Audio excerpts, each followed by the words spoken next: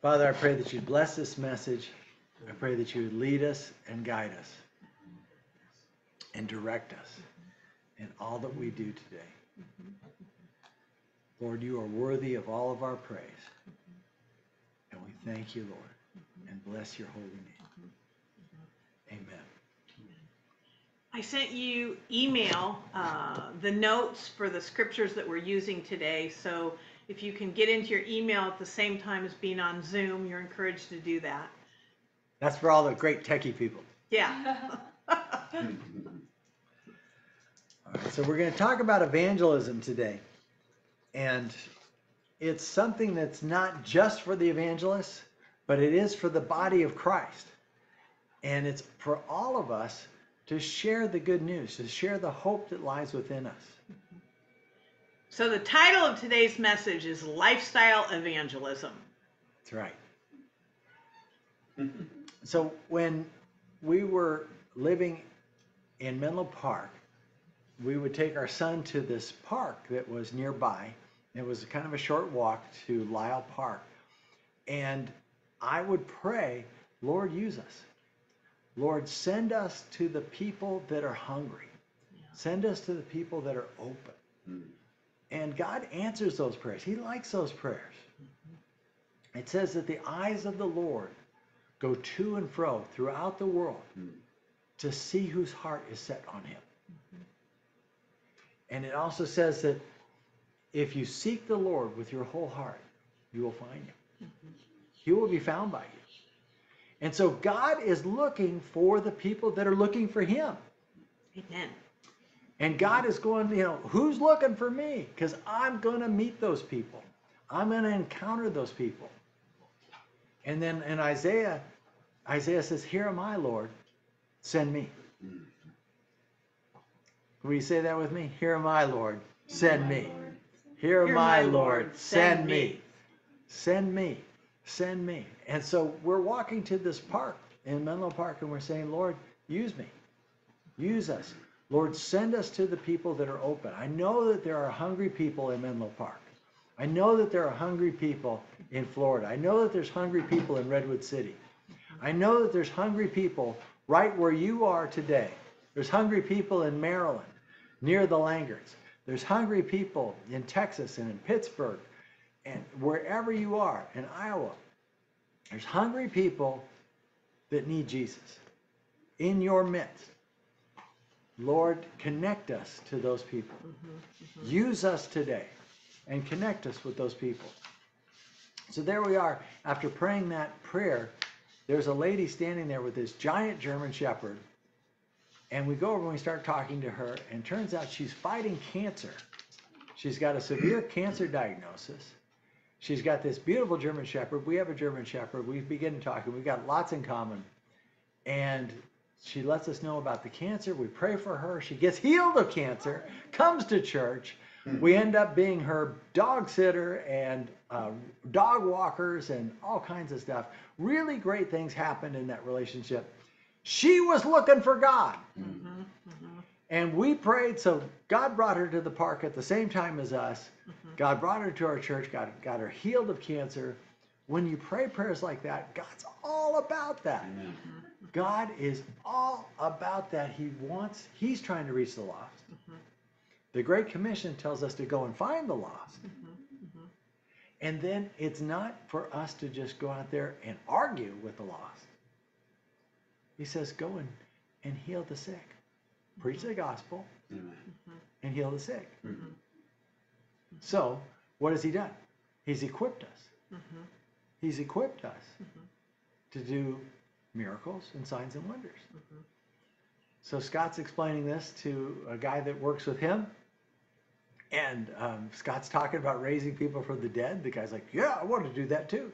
Lord, use me to raise people from the dead. Scott's like, Yeah, you just have to ask. And, and God will give you opportunities. So the guy's in 7 Eleven, and there's a crash outside. And the guy runs out of the 7 Eleven, and uh, the spouse, the other person who was in the car, says, She's dead. She's dead. She's lying there on the pavement. And the guy runs out of the 7 Eleven, goes and prays for him. And the lady gets, start, gets her breath back, begins to breathe. She comes back to life. Hmm. Yeah. This happened locally. Yeah. This happened. This happened. This isn't some faraway in faraway lands. Hmm. This happened in faraway Fort Myers. Hmm. Hallelujah. Lord, use us. Mhm. Lord, use us. Mhm. Here am I, Lord. Mhm. Send me. Yes. Here is Victory Church, Lord. Send us. Mhm. Lord, it, we don't have to go uh, a million miles away to find the lost. The lost are right around us. The people that need God are right near us. And as we kind of move into latter days kinds of things and, and scary news comes up, people are saying, God, you know, help us. Mhm. Help us. Mhm. Send us. Send us, Lord. He's equipped us and He sent us. Would you like to share something? Well, you've heard us tell the testimony of uh, when we at one point moved back to California, we were looking for a place to rent, and I walked into a condo in Belmont, and when I walked in, I knew in my spirit that I was there to witness to the person. But I wasn't with Brad, I was with someone else, and I knew I couldn't do it with the person I was with. And so I just walked through the condo and um, asked if it was would be possible for me to bring Brad, Brad back and come back again, and they said yes. And so we finished the tour, left, and then I said to Brad later, "Don't get excited about it. We're there to witness. We're not renting it. We're there to witness." And so we went back. She had to tell me that because it was beautiful. Well, it was a yeah, gorgeous condo. right. But I was knew we weren't supposed to rent it, right? And so I did tell him that in advance. So anyway, um, I still got excited. still, he's like, "Are you sure? Are you sure?" Yeah. So anyway, so we walk in. When we walk in, I don't know how it came up, but something came up that you know.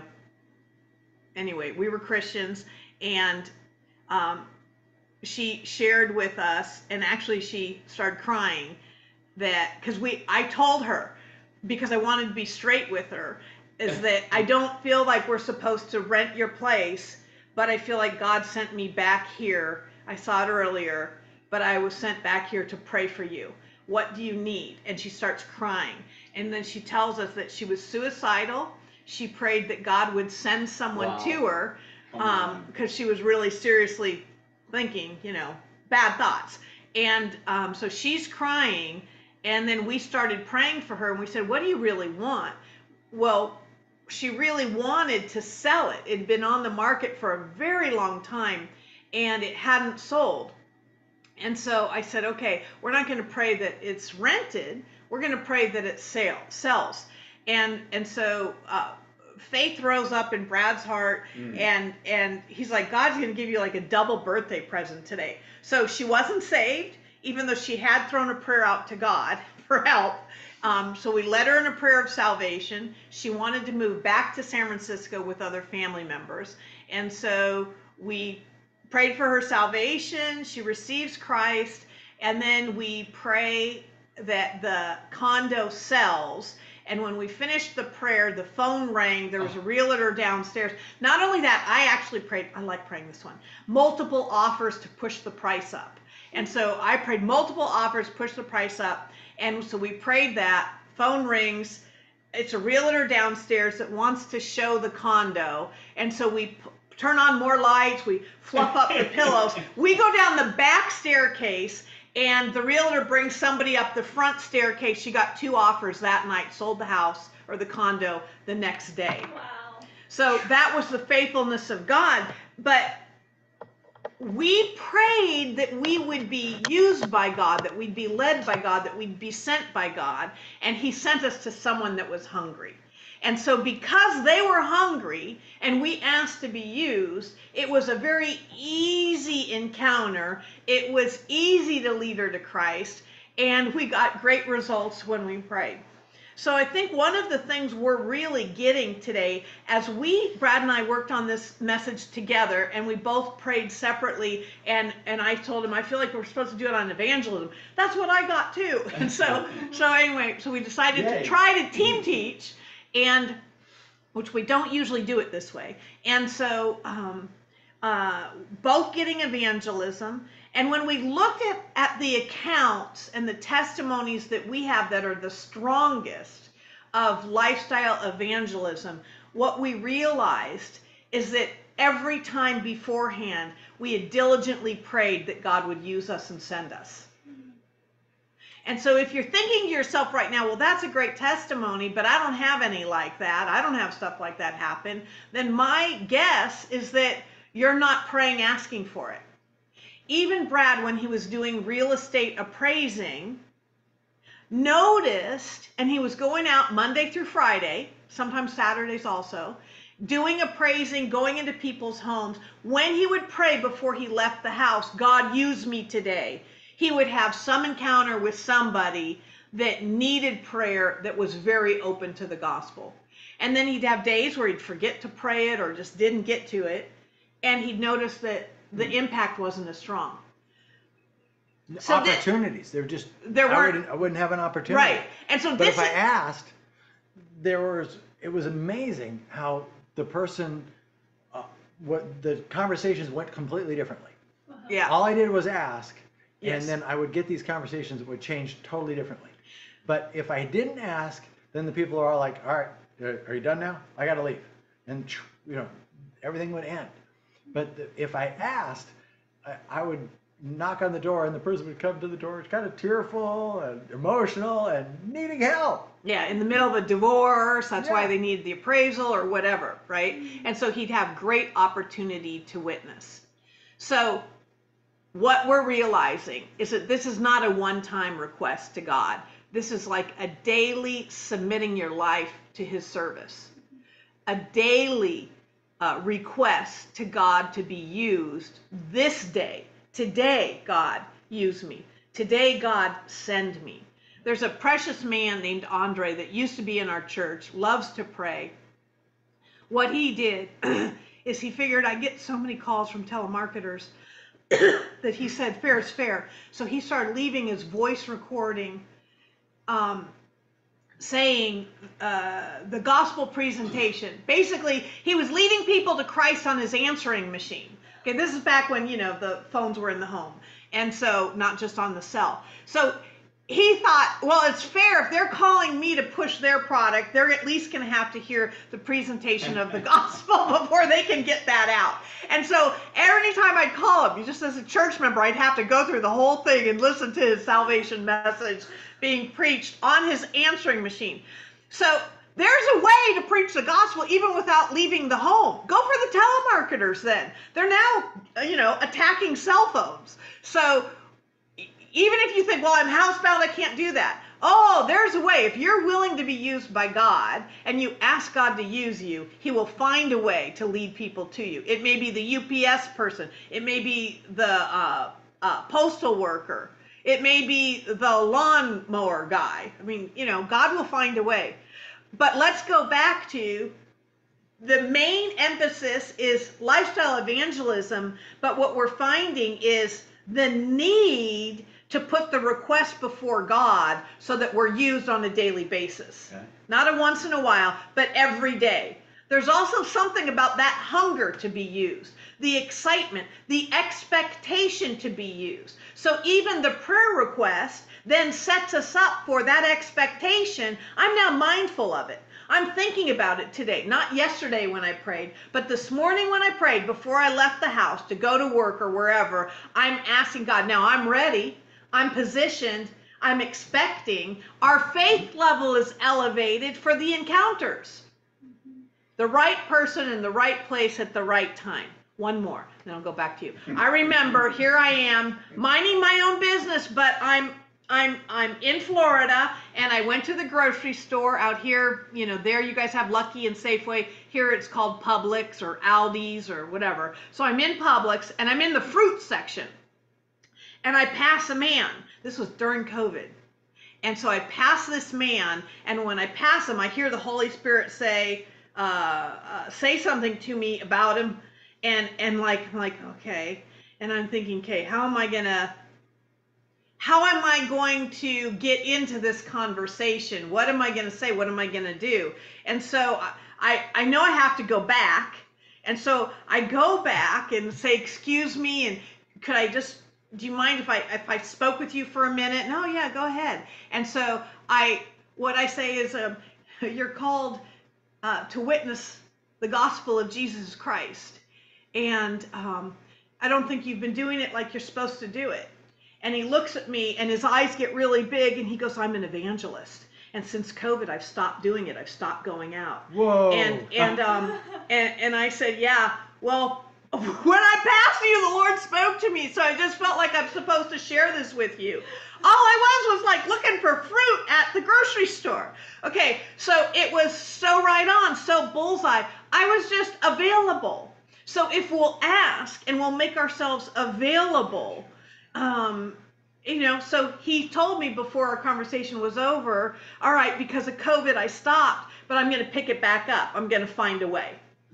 And so I guess God wanted him back on track. COVID, no COVID, he wanted people hearing about Jesus. Amen. Amen. That's cool. I remember that, uh, but I'd forgotten that. So we uh, used to do regular evangelism as a church Mhm. and would go out uh, about once a month. And one time we took extra time to pray for divine connections. Mhm. And I felt led that uh, I would, I felt good about the Kmart parking lot. The Kmart parking lot is kind of where I feel like it's going to work. And other people felt like they were going to go here, go there. So I just took, I think, one other person to the Kmart parking lot, and then we were going to meet other people where they went um, in downtown San Mateo. Mhm.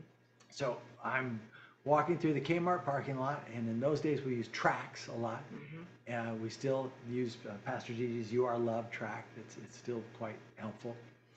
And um, I see some people in a van, and it's a late model, newer van, but they had the windows just cracked a little bit so they could breathe while they're just sitting there talking in the in the van in the sun.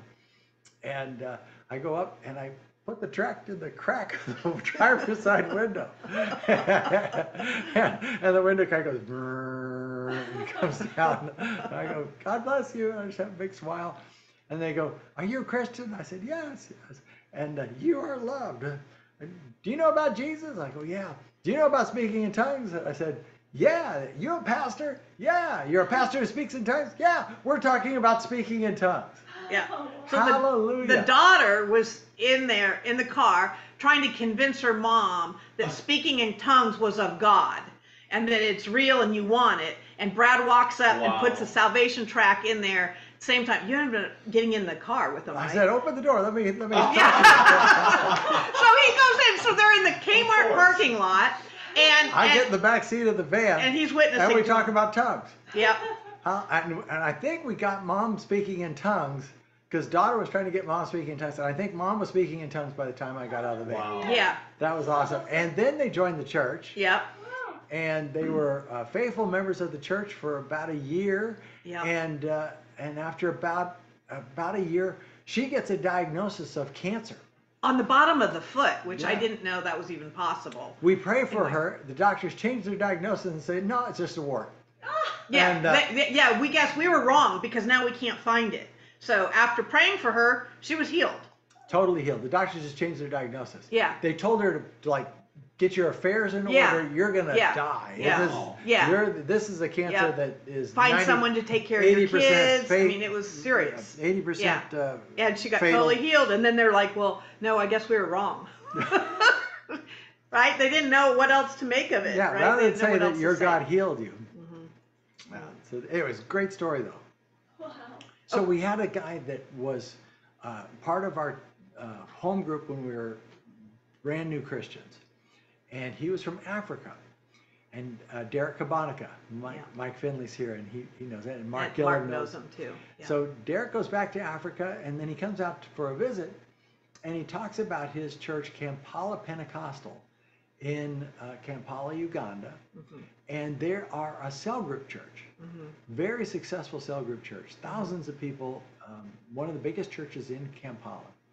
And it's all based on cell groups. Well, it's all really based on prayer. Yeah. And so they have a map of all of Kampala, and they have home groups in like every quadrant of the map except for this one big pie piece in kind of the upper left, and there's no home groups in this one pie piece of the city map. And so they, the, one of the home group leaders and one of the church leaders, but he was a man of prayer. And this man of prayer goes, I'm going to that area. Mhm. And he starts walking that neighborhood And pray. and praying. And he just walks to and fro through that neighborhood. Mhm. And today, there are just as many red dots for cell groups in that quadrant of town as every other quadrant of town. Mhm. I'm like, wow, what a testimony. Mhm. So I start walking our neighborhood of Kentfield Commons in Redwood City Mhm. and praying for a cell group Mhm. in Kentfield Commons. Mhm. And I didn't know any Christians Mhm. in that in that neighborhood. Mhm. Didn't know of one. Mhm. But after about a couple months of walking and praying for a cell group, we had a men's cell group in that neighborhood, not in our house, in somebody Someone else's house. house. And we had about 14 guys coming to um, a men's Bible study. We were using, at that time, Tony Dungy had written his book. He had been the Super Bowl winning Christian coach of whatever team it was. Tony Dungy was the coach. Buccaneers. Buccaneers, okay. And uh, he wrote a book, and we used that book as um, the the text for the Bible study, and we read that book as a as a men's group. It was a very successful group, and, and people liked going, and it was fun. It was really really fun. Mhm. Mhm. So it's about prayer. Mhm. So this prayer, here am I, Lord, send me, Yeah. and Lord, use me today. Yep. Pray that prayer with me right now. Lord, use me today. Lord, use me today. So there are the there is this use me today section a, a, a bit of evangelism, but then there's also the specific person. Mhm. There are specific people in your life and my life that we're called to impact, Mhm. that we're supposed to reach. Mhm. Lord, who are the people that I interact with on a semi-regular basis Mhm. that I need to pray for an opening, Mhm. pray for opportunity Mhm. to witness to those people? I played tennis with this one individual for a long time, and I prayed, Lord, opportunity. Give me an opportunity. Give me an opportunity. And I prayed for quite a while for that opportunity, and finally it came. And he had a pain that would jump from wrist to wrist. And then it would jump on his arm, and it would move around on his arm. I said, We have some experience with that, and we would like to pray for you. And he said, I have to take a drug that uh, costs a ton of money, and I've got a great health care plan and stuff like that, so I'm not paying for it. But the actual medical bill for this drug that I'm taking to, to address this issue is ginormous. Yeah. And I said, We have Dr. Jesus. And, uh, you know, come over to our house, GiGi and I will pray for you. Mhm. He comes over to our house. Uh, we pray for him, and we also pray the salvation prayer Mhm. with him. Mhm. Have you ever. Do you had, did you ever, as a point in time, invite Jesus to be your Lord and Savior? And his eyes kind of spin around and he says, No, I don't think I've ever prayed that specific prayer. He wasn't a church attender, but he wasn't anti. Mhm. And so he invites Jesus to be his Lord and Savior. We pray, the pain goes away, the pain stops coming. Uh, we say, Devil, in the name of Jesus, you know, get away from him. And uh, we, we cast this issue out from him. I believe that it was kind of a deliverance issue. Mhm. Um, he doesn't have that pain for months afterwards. It's awesome. Pastor Jesus, So we are ambassadors come on. representing Christ on the earth. In 2 Corinthians chapter 5 verses 19 to 21, I'll read it to you. It says, God was in Christ, reconciling the world to himself, not counting their trespasses against them. And he has committed to us, to who? Us. To me, to you, to us, the word of reconciliation. How are they going to know if someone's not sent? How are they going to hear? Verse 20 says, Therefore, we are ambassadors for Christ, as though God were making an appeal through us. We beg you, on behalf of Christ, be reconciled to God. He made him who knew no sin to be sin on our behalf, so that we might become the righteousness of God in him. There's also another passage in Ephesians chapter 6, verse 19 to 20, that calls us again an ambassador. We're ambassadors for Jesus Christ. Notice also in that Second Corinthians passage that it says that God's not counting their sins against them. They've already been forgiven. So we don't have to lead somebody through a long list of confession when they uh, come to Christ. They've already been forgiven. We just have to get them to receive Jesus as Lord and Savior. So they've been forgiven, but we've been given the word of reconciliation. We're the ones that know about Jesus that are to go out and share Jesus with the world. And as we pray, ask to be used by God, He will use us, He will lead us. And I think we're going to find it easier because He's going to lead us to the harvest that's right. I've done this without prayer, and it's not as easy. It doesn't go as well. I've been on airplanes with prayer when I pray for the person that's in the seat next to me and I pray in advance. And I've done it where I don't necessarily pray for that flight. And when I pray, God, put me next to somebody you want me to witness to, you want me to share. Boy, we get great results. So I'm just bringing it back to this, you guys. If we want more fruit, we want better results, we need to be asking God on a daily basis to use us and send us. And He does say, um, uh, he does talk about the harvest and to beseech him to send laborers into the harvest. So let's ask him. God send laborers into the harvest, and we're willing to go. We're willing to be sent. Doesn't mean he's going to send us to Africa necessarily. He may send you to Lucky, to Safeway, to Publix, wherever. But let's be open to tell people about Jesus so that we are ready and can give an account of the hope that is within us. Second Timothy uh, 4 2 says, Preach the word. This is to everybody. Be ready in season and out of season. Reprove, rebuke, exhort with great patience and instruction. 1 Peter 3:15 says, "Sanctify Christ as Lord in your hearts, always being ready to make a defense to everyone who asks you to give an account for the hope that is within you, yet with gentleness and reverence. We know that Jesus sent out the 12, then he sent out the 70, but he didn't stop there. He sent out all, right? Go into all the world and minister the gospel. He was not speaking to quote unquote professional ministers, he's speaking to the ambassadors. We are all ambassadors. Whether you get your living from the gospel or not, we're all called to witness. We're all called to share the gospel. And then let's look at this, because when he did this, again, Brad talked about he didn't send us out without equipping us, that we are equipped. And we've been teaching on this. When Jesus sent the 12, um, this is Matthew chapter 10, verse 1. He gave them authority over unclean spirits to cast them out, to heal every kind of disease and every kind of sickness. Not some of them, every kind. And then if we go down in the chapter more, we can look at verse, say, uh, 5, 6, 7, 8. It says, When you go, preach, saying, The kingdom of heaven is at hand. Heal the sick, raise the dead, cleanse the lepers, cast out demons. Freely you received, freely give. Each one of us have freely received. He's calling us to give. In Luke chapter 9, verses 1 through 12, again we see the account of them sending out the 12.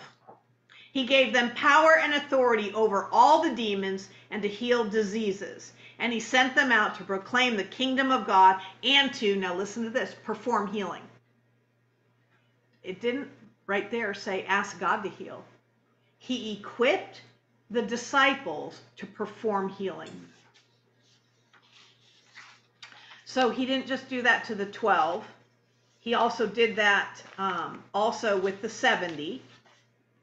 And he did that when he sent all and said, Go into the world and preach the gospel. Let's look at where he sends the 70. Luke chapter 10, verses 1 through 2. Now, after this, the Lord appointed 70 others and sent them two and two, or we could say two by two, ahead of him to every city and place where he was himself going to go, saying, The harvest is plentiful, the workers are few. Therefore, beseech the Lord of the harvest to send out laborers into his harvest.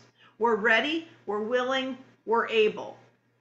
In Luke 10 7 to 9, I'll go down to the later part of that, and it says, uh, When you go to a house, if they receive you, heal those in it that are sick, and say to them, The kingdom of God has come near you. When the 70 returned, they were all excited. They returned with joy because they said, Even the demons were subject to them.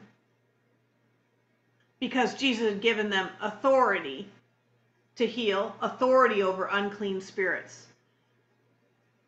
He said, Go. Right before he was taken up to heaven, Jesus said, Go. You're equipped.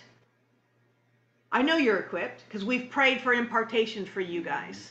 You're anointed to do this. You're equipped. You're anointed. You've been taught the word of God. You've received impartation. You've been taught how to minister healing. Let's pray that God sends us as laborers into the harvest on a daily basis. Lifestyle evangelism. Let's go get them healed and let's get them saved. Let's expect them to get healed when we lay hands on them. Let's expect good results. He mm-hmm. said, perform healing. How about that? Perform healing. Us. He wants to use us. I'm not so sure in all these years past, in many, many churches, that we've been taught accurately about the healing power of mm-hmm. God. First of all, some churches don't even believe it. He's still healing people, but we believe he still heals. He's saying, perform healing. Mm. You're equipped. You're anointed. Let's go get the harvest. Mm-hmm. Reverend Todd White has a slogan Lifestyle Evangelism and Lifestyle Evangelism University in Texas. And he's got some great YouTube videos of him going out and doing street witnessing. And tremendous things happen. We have done almost the same things personally, where we went on one of our first mission trips to Mexico and we had morning prayer before we went out and not many of us were really good uh, spanish speakers. And so we would use uh, candy and tract spanish tract evangelism. And uh, we had really untrained people it was were so, semi-trained people and they had tremendous results. Mm-hmm. they were super led they did the right things they were you know if you feel led to give somebody a, a few pesos do it if you mm-hmm. feel led to give somebody a five do it Yeah. if you feel led to give whatever anyway so people were going out there and then being led in their giving and what they did and what they handed out Yeah. and we came back and it was like the 70 returned with joy yes. our missions group came back to, to the van and came went out to lunch that day with absolute 100% joy. We were so excited and so happy at the interactions we had in Mexico uh, that day and those days. Uh, we had an absolute ball. Uh, I, can see, I can still see Julie Paquette. She wore a pink hat that was probably it was like a sombrero. It was the biggest pink hat you've ever seen. Yeah. And she she just walked right down the dirt street of the Yeah. worst part of town. Yep. And with her ginormous pink, Pink hat, pink handing, shirt. handing out Yeah. tracts and handing Yeah. out candy. Yeah. And people flocked to her. Yeah. And and so many people got saved that day. Yeah. Uh, it was really fun. I went up to a machine gun nest of soldiers Yeah. with machine guns and started handing them candy and tracts. And they all just stopped, sat down, and read the tracts. Yeah. Yeah. Uh, you know, I'm you know walking up to them, and it's a little intimidating walking up to a guy in full battle rattle, and he's got guns, you know, and they're looking at. But I had candy. Well, technically, we, we brought chocolate because, you know, in those areas where it's really, really hot, chocolate melts. So it's hard to keep something like that. So we had the chocolate in the air conditioned car so that it wouldn't melt. And then we'd take out small amounts and then we'd go street witnessing and then the car would follow us. yes. Mm-hmm. It was Went good. great. Worked And really well. Those It soldiers read the tracts and Yeah. prayed the prayer. So even when we Awesome. couldn't speak the language, it was still effective, right? We were still leading them to Sure. Christ. Amen. Let's let's close with prayer and let's pray. Here I am, Lord. Send me. Send me, use me. Yeah. Lord, I pray that you would fill us with even more of your spirit Yeah. for power evangelism, Yes. That we would heal the sick, raise the dead, cleanse the lepers. Yeah. Freely we have received, freely, Freely give, give. and that we would share your gospel with power. Mhm. That we would share your love with power. Mhm. We would share your forgiveness Mhm. and the good news Mhm. of the gospel of our Lord Jesus Christ. Mhm. Help people to Mhm. see it as good news, receive it as good news, and help us to bring it as good news Yes. that it is. Yeah. In Jesus' name. Amen. Amen. So on June 2, we're going to have a water baptism for all the people that you guys in California get born again. So invite them to June 2, get water baptized. And we'll work on it out here where we are too, right? Amen. Amen. Yeah, so start start inviting and then ask God, who comes to your mind when you say, Father, who do you want me to witness to? Because there may be people you know of right now. Who do you want me to witness to? And then we want you to be mindful. And I'm going to do this too. And Honestly, Brad is better at it than I am, but I will be good at it now. I am going to ask every day, God, use me. Use me today. Lead me and guide me today to somebody that's ripe for the harvest. Yeah.